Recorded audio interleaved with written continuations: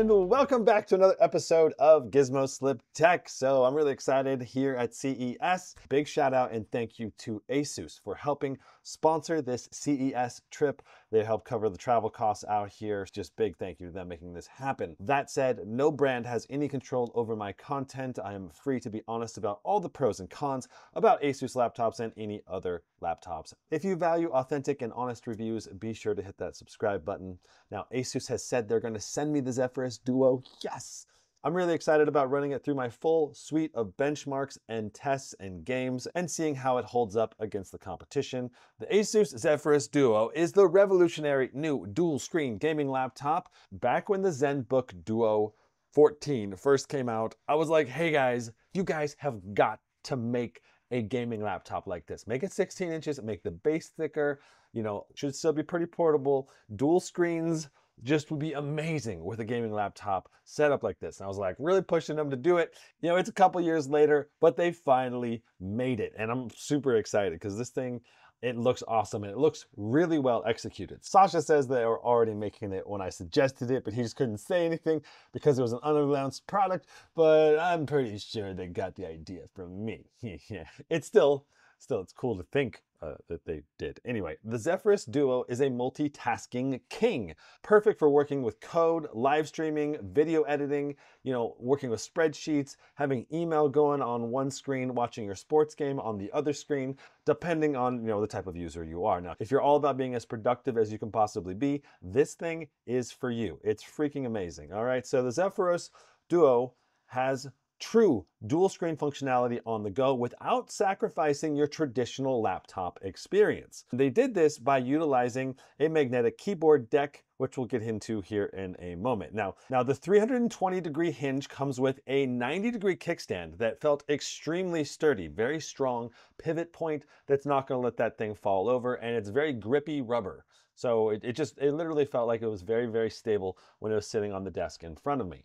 Now you're pretty much gonna only do the dual screen function when you're on a desk, or maybe I guess if you're in laptop mode and you're not using the keyboard deck. But yeah, for the most part, you're gonna be using this on a table whenever you're in dual screen mode. This comes with several different modes that you can use it in. The first one is obviously the displays stacked horizontally.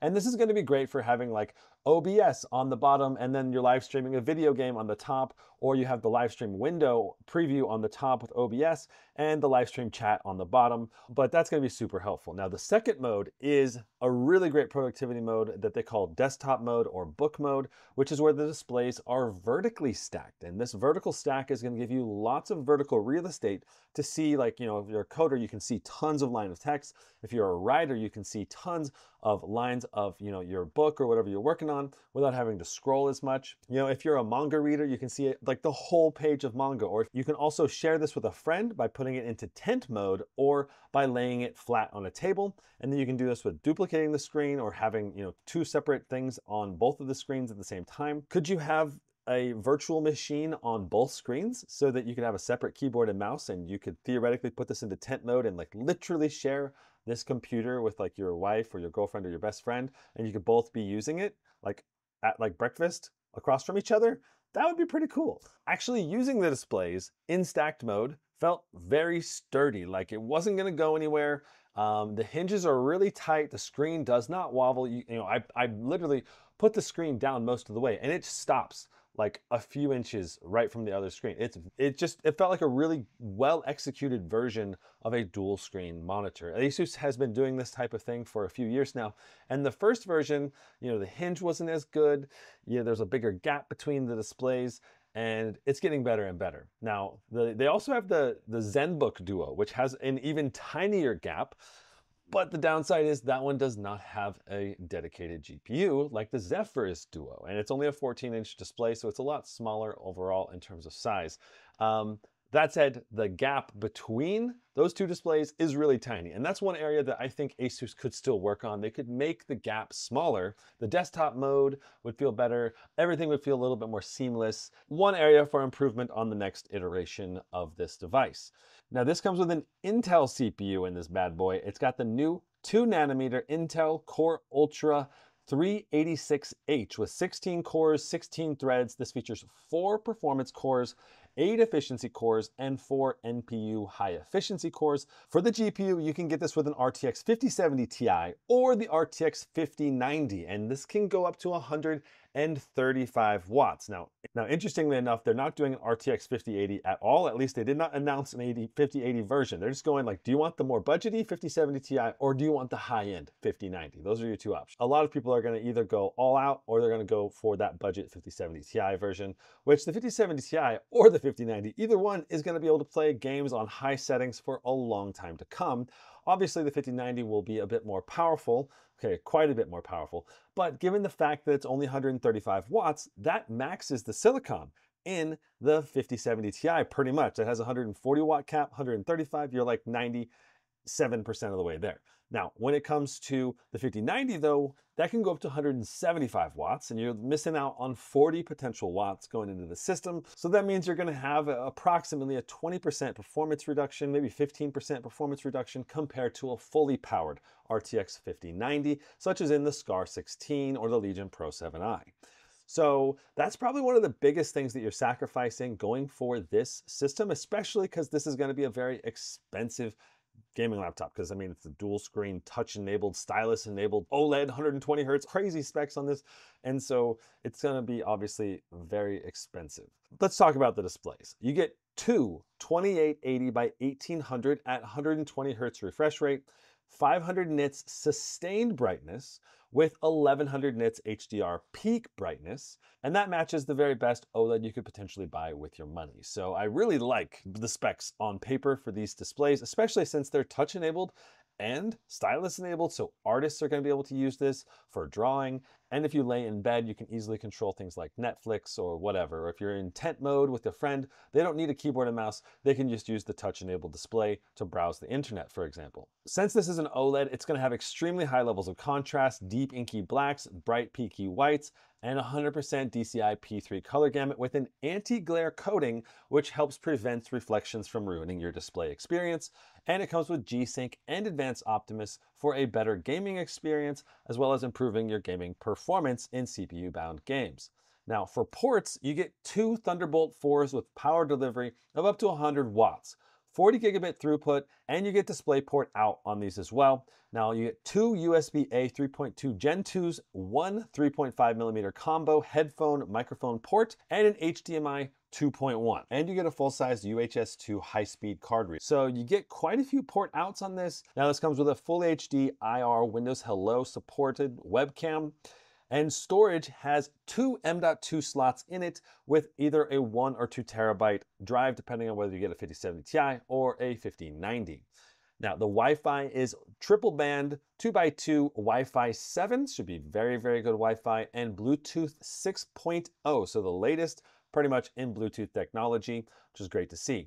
Now, the keyboard and mouse is basically just like the Zephyrus G16 keyboard and mouse. You get the same layout, the same feel, but the 2026 keyboard backlight has been improved and there's much less gaps in the backlight look to it. So it's just a higher quality overall backlight experience. Finally, I mean, how many years did it take for them to get it right? I think this one's better. We'll have to see when I actually get it in hand what I think about it after long-term usage. The cool thing about the keyboard deck is that it is fully detachable and it connects with electronic pins that charge an onboard battery so that when you detach the keyboard, it'll automatically switch to Bluetooth mode. When you connect it back onto the lower display, it'll automatically connect back with the pins for low latency input on the keyboard and trackpad. So there's no Bluetooth delay. Now I really wish the new Bluetooth would have better latency for things like mouse and keyboards and controller support.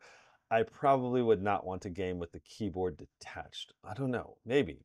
That's a potential con that I'll have to figure out after I get the laptop in hand. In my experience, it only took a few seconds for the laptop to automatically switch between wired with the pins mode. It's not really wired, but it's the electric pins communicating for the keyboard and mouse, and then pulling that off, it automatically connected with Bluetooth, and it was pretty much a seamless experience. Like, like you take that keyboard deck off, you start setting up the kickstand, you get the laptop into like stacked mode or desktop mode, and by the time you're in that point, the keyboard and touchpad are already connected with Bluetooth and you're ready to go. go. So it's a very seamless overall experience. And the trackpad also is basically the same as the Zephyrus G16 glass trackpad, same ultra large size and great overall feel.